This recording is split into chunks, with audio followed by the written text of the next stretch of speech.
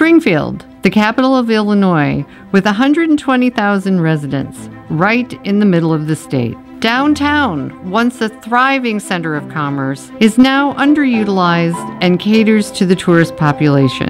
Just five blocks north of downtown is the Enos Park neighborhood, the oldest neighborhood in Springfield, now ravaged by time and flight from the urban core.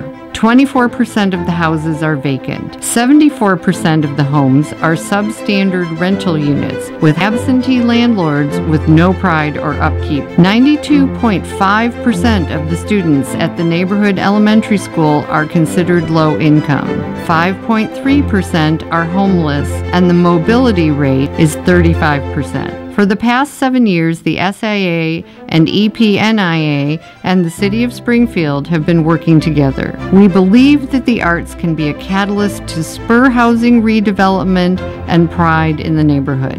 Hello, I'm Jim Langfelder, Mayor of the City of Springfield, Illinois. One of the great honors I have as being mayor is having those partnerships with the City of Springfield and the Springfield Art Association. I'm excited about the Artist Residency Program, whereby artists are incentivized to move in the Enos Park area, which has a large rental area. And what we're trying to do is turn it more into home ownership. Hi, I'm Michelle Ownby, and I'm the president of the Enos Park Neighborhood Improvement Association. For about six years now, the Neighborhood Association has had a nonprofit land bank actively acquiring distressed properties in the neighborhood. We pass them on at very nominal cost to people that will commit to renovating them according to our design standards. We're thrilled to offer some of these distressed properties to artists that would be interested in coming to the neighborhood. In 2018, the SAA will begin building new studios for ceramics, metals, and glass blowing. There are no public access glass studios between St. Louis and Chicago. Hi, my name's Matt Urban. Uh, I'm a glass worker in uh, Bloomington Normal, Illinois. Not only do I blow glass, but I also build equipment.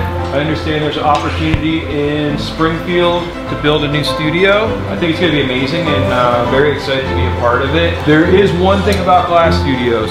They will attract artists.